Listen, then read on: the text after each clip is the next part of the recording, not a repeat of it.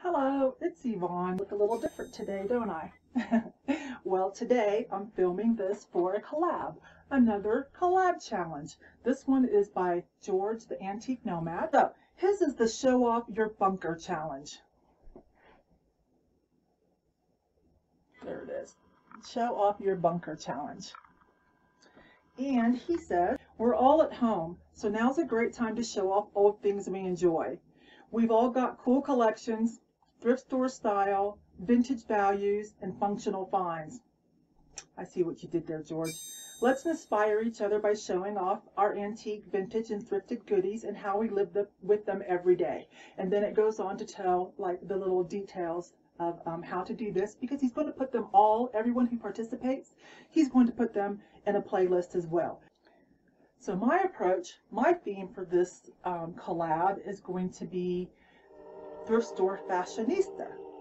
95% of my wardrobe does come from the thrift store or sales racks, right? And so I thought I'd show off some of my favorite pieces because all you ever really see me in are my athletic or athleisure clothes, right? Like you've never really seen me even in a dress. So I'm going to come get you and I'm going to take you into my dressing room. Okay, so here it is. So like I said, this is probably like dedicated for a children's room. It's not a mas the master suite by any means. This house is retro, built in the 80s. Um, so I turning it into a dressing room. It's not a formal dressing room. But most everything in here is also thrifted or it came from leftover items from my brick and mortar store when I used to do that, such as the um,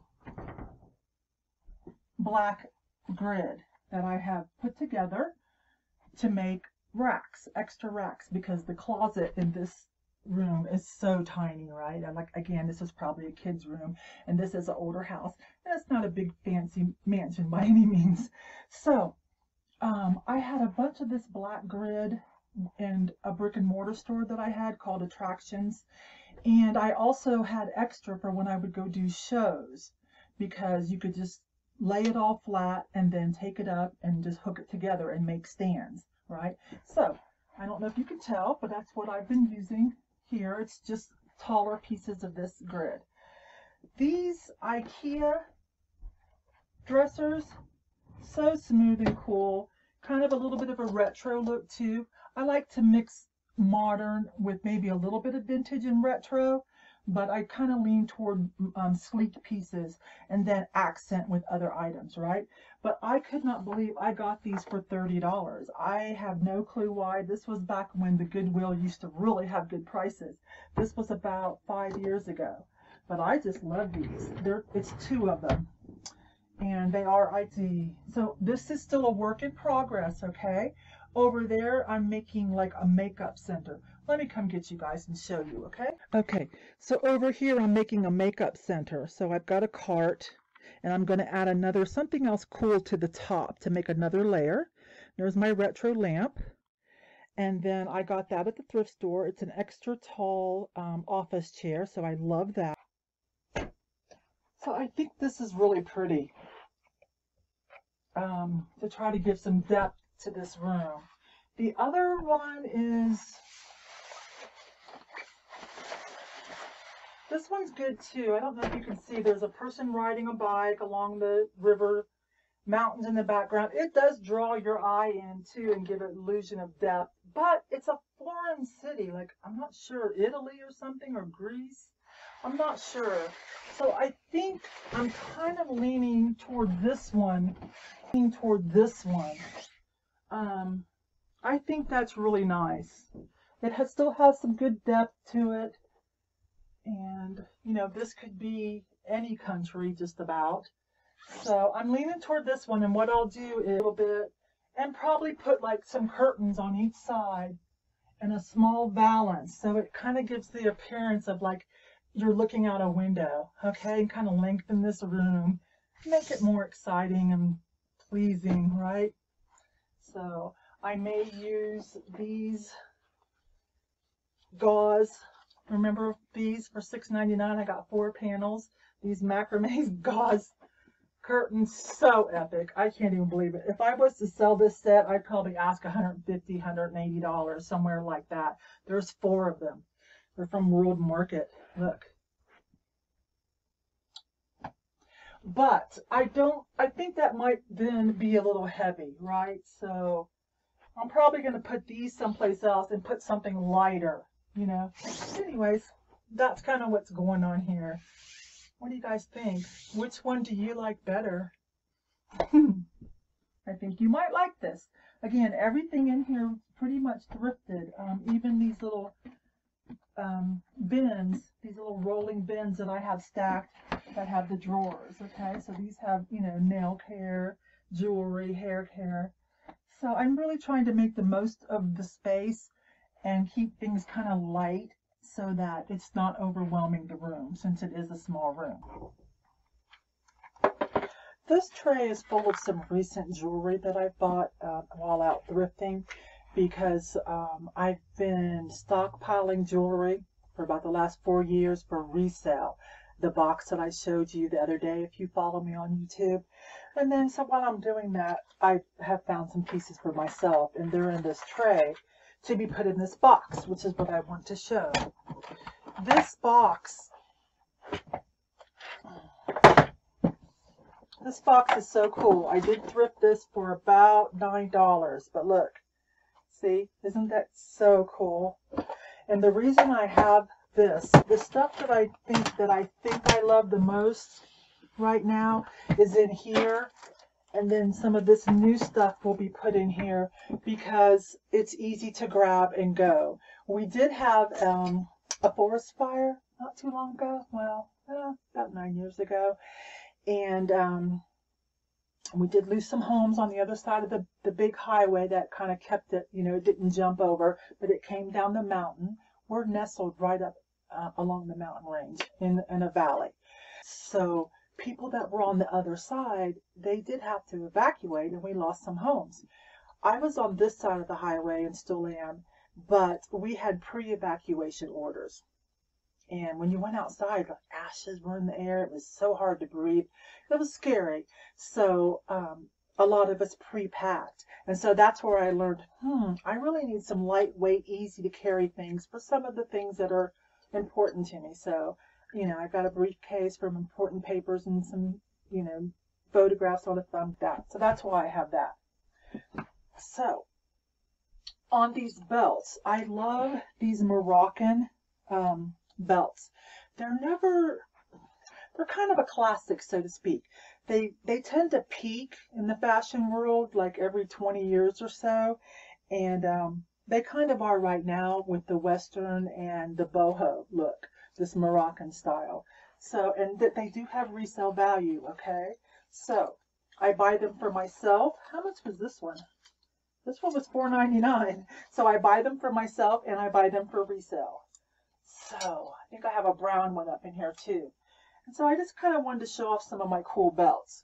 Now, if you remember I talked about this belt the other day, about upcycling it. This Concho belt is not on real silver, so I would never took apart such an expensive belt. But it's not the cheap cheap either.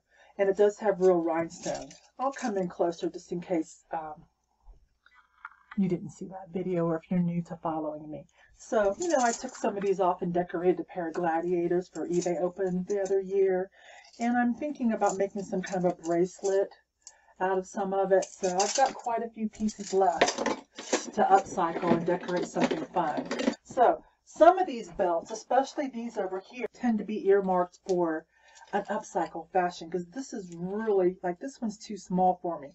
I paid $2.99. This price is still on it. Let me show you this how cool this one is. See that? So this is earmarked for some kind of upcycling fashion project too. Three dollars. So that's what some of these are for. But then some of these I wear and I love.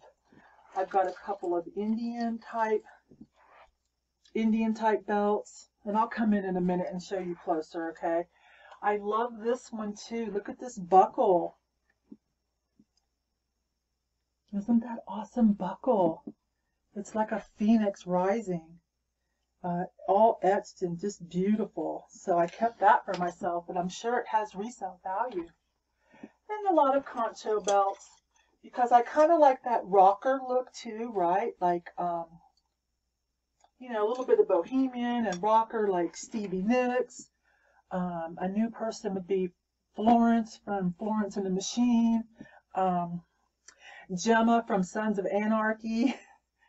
Who else? Of course, I'm a Cher fan from way back, so I like a little bit of the bling and a little bit of her rocker look. Um, she was all over the map, of course, right? So I tend to like, you know, some of these kind of belts. The Western ones will do, a lot of them will do great for that rocker look and that boho. Now this one, I want to talk about this, about this one that has resale value. This is the Kippies. I bought, I found these at the thrift store and bought and sold several. This one I kept for myself. Finally one that was my size. But, I don't know if you'll see this, but it says Kippies on the back of the buckle. And unless it's real, real old or something special, and it'll have this Kippies. Let me come in slow and see if you can see that. That says Kippies. I don't know if you can see it because of the reflection. So this was probably on their website brand new. This is probably a three or four hundred dollar belt. So resale value on it, if I was going to sell it, has the original buckle as well. Um, I would probably put it up for like 120, but it's not for sale. I've sold all the other ones, but this one's mine. Besides the Kippy and my Moroccan belts, these are my two favorites. Okay, so first the Harley one. Super cute, thrifted. I don't remember, but I'm going to guess somewhere around 10 or 12 because most thrift stores know their Harley stuff, right? This is super cute with a little feminine buckle on abalone. It is licensed, fully licensed and marked in the back. Each one of these conchos has a Harley Davidson bar and shield. Um, it is all leather. If I were to sell this, it's probably resale value pretty quick. It's probably, I don't know, 60 or so. I'm not ready to sell it. My husband has had a Harley ever since the Air Force. He's um, 30 some years. And um, he's been everywhere in that thing. Now, I'm not a Harley girl. And I'll tell you why. I grew up, yes, my father rode Indians and Harleys, but in 1988, he wrecked his Harley coming back from Sturgis. So, um, head injury, plate in his head, uh, air flight to Salt Lake City, coma for two weeks. I spent two months. I had I was in Dallas. I had to fly to Salt Lake City to you know take care of my dad. Um, I spent two months living out the ICU hospital waiting room there. Anyways, I've had to kind of keep an eye on my dad ever since. Okay, so that changed things. That changed his cognitive. So yeah, not a motorcycle lover. I do like ATVs. I did do that for many years. I sold mine about 10 years ago. Um, but that's four wheels. I did racing, ice racing, whatever.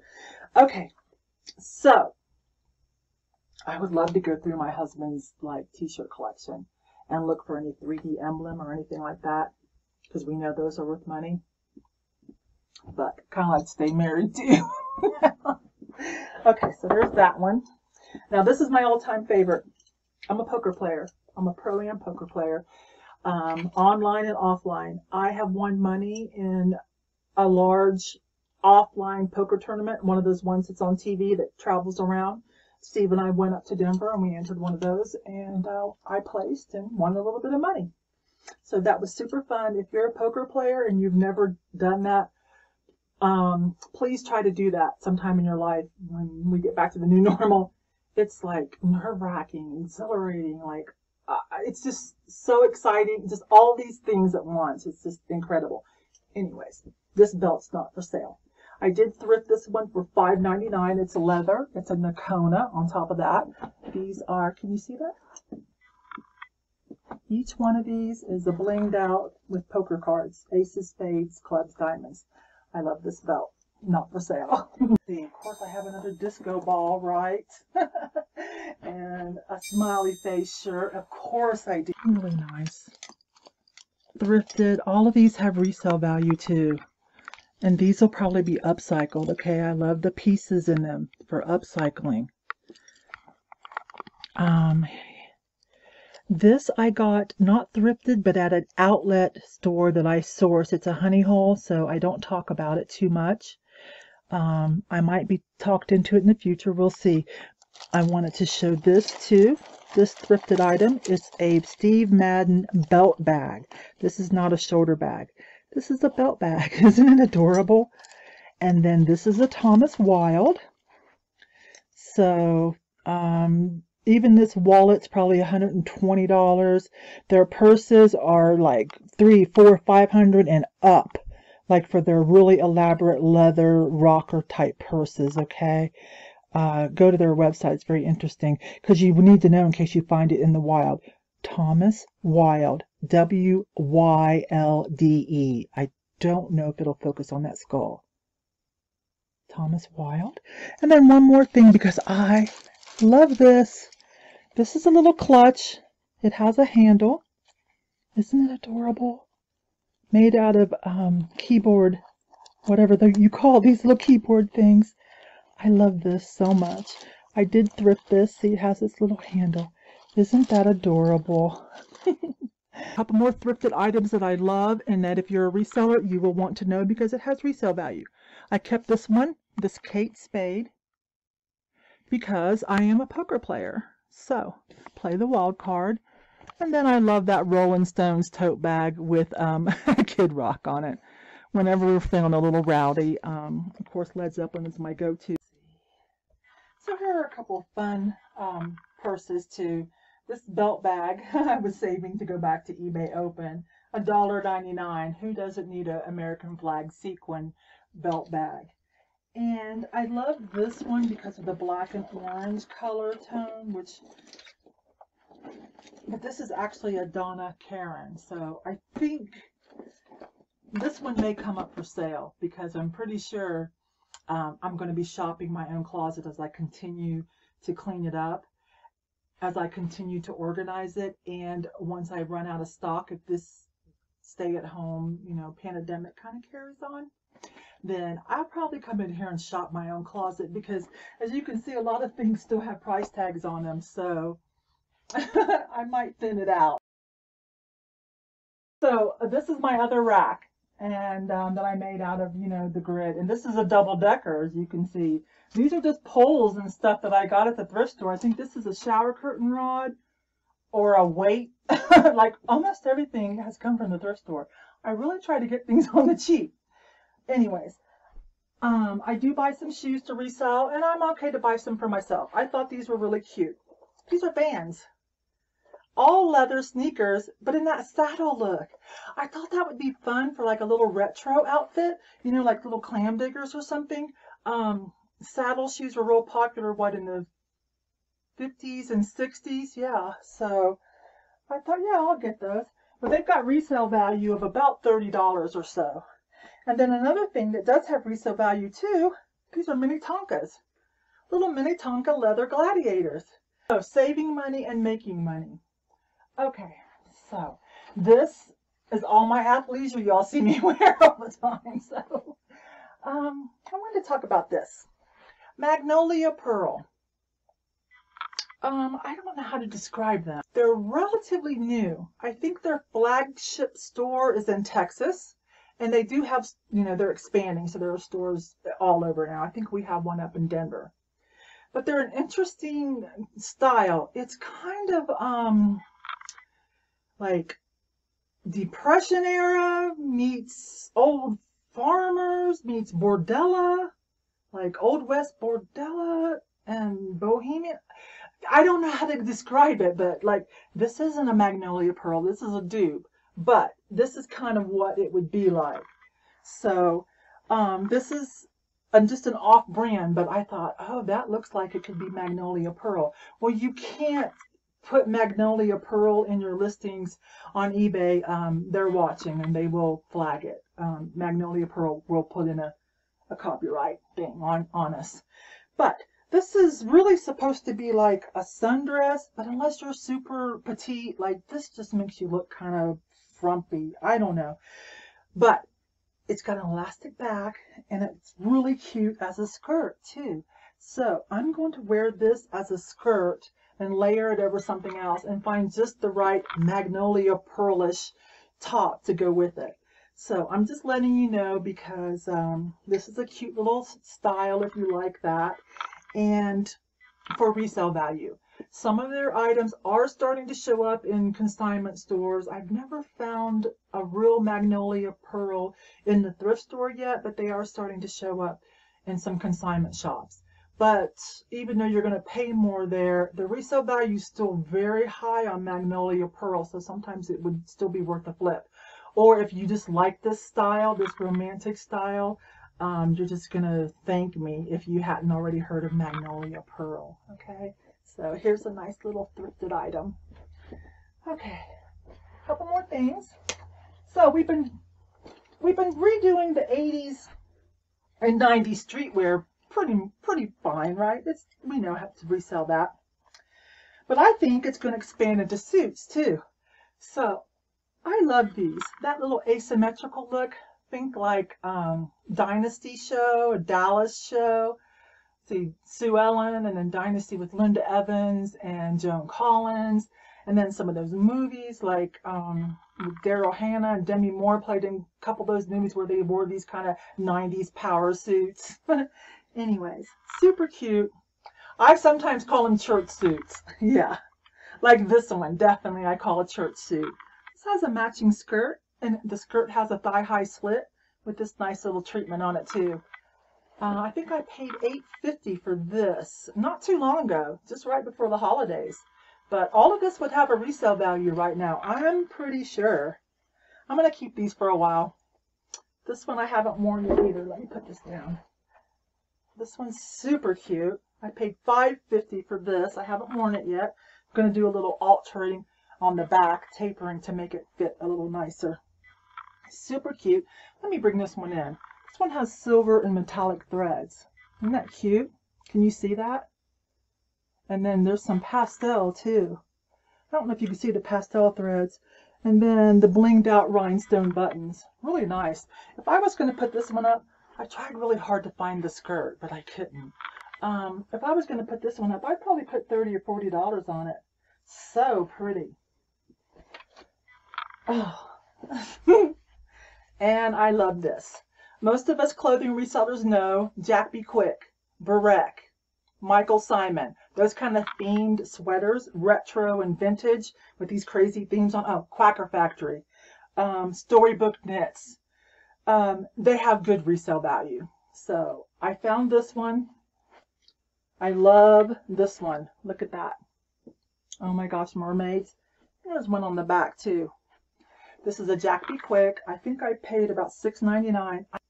I did put this one up for sale, $90, because I didn't really want to sell it.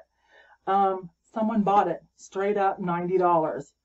I went to pack it. I just could not do it. You guys, I, I've already admitted this story in a previous video. I'm not your role model on this. I couldn't do it. I'm like, oh, why did I put that up for sale? I canceled the sale. I'm sorry, universe. I made someone very upset. I canceled the sale. Um, sorry, but just so you know, this was worth $90. I did try to find another one um, that I could like point this person to on Poshmark or eBay, but just not the right size. oh well, I love this though. So cute. These are really cute. Look how nice and romantic this one is. Isn't that adorable? Super cute. Little peplum. And then this one. I haven't even worn this one yet. I need to wear this. Um, $6.99 and this is a Karen Kane. So resale value on this would be fine. I could probably get about $40 pretty easy on this. Karen Kane is um, known to us tall girls because their sleeve lengths are usually a little longer. So most of us tall girls know Karen Kane. But isn't that just beautiful? This is one of my favorites. When I get this room all finished, I'll do a full-blown thrift store fashionista video on this. But let me get it. But I love this. I recently showed this off. I got this last year, but I recently showed it off on Instagram for um, Loretta Thrift Love Sells um, hashtag show us something your favorite thrifted item at home. And this got a lot of likes. This is a Tahari, so resale value is there, but this one's not for sale. Velvet embroidered duster, satin lined. So you always want to pick these up as a reseller, these kind of embroidered um, dusters. I think the best sale I've had so far was a Johnny Was duster that was all embroidered. But sometimes it does not matter whether it's a name brand or not when it comes to a cool, rockin' embroidered duster of some type, okay? So, well, yay! Love. Well, I hope you liked this little sneak peek of my dressing room. It's still a work in progress, but it's coming along. I hope it gave you some inspiration as to what you can find for yourself to be a thrift store fashionista. Buying and selling secondhand clothing is still a great opportunity and a good way to be socially responsible and make money at the same time, not to mention the things that you can find for yourself. I also hope maybe a little inspiration is what you can do with a small space and maybe a sneak peek of this remodeling work in process might give you some ideas of how you can maximize storage space, um, display space on the cheap. Again, these IKEA dressers were from the Goodwill. And this black grid that I have, you can often buy it pretty affordably at a second-hand store fixture um, outlet. Okay, well that's all. I'll see you on my next video or on one of yours. Thanks and have a great day.